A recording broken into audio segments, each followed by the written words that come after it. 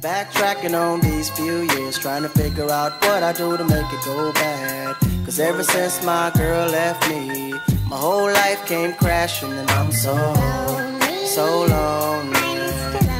Mr. Lonely. I have nobody